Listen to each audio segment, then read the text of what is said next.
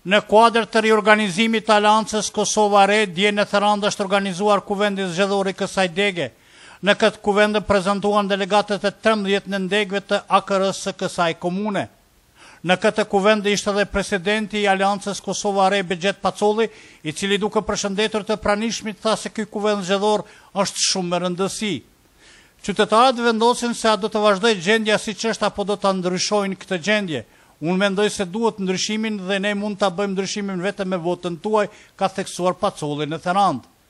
AKR tha se di të bëjë ndryshime duke u ndërlidhur me rritjen ekonomike që proklamohet nga qeveria dhe me buxhetin e fundit tha se buxheti i vitit të ardhshëm është një buxhet i cili një të katërtën e ka prej kredive e kjo ai tha se nuk ndodh askund në botë.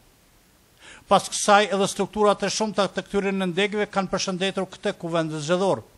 Pas formimit të komisioneve zgjedhore delegatët votuan kryetarin e degës së Aleancës Kosova Re dhe kryesinë pesëmbëdhjetë anëtarëshe. Kryetar është zgjedhur Mustaf Kadriaj ekonomist i dalluar, nënkryetar Halit Buçaj dhe Alban Lumi ndërsa sekretar Isuf Krasniqi.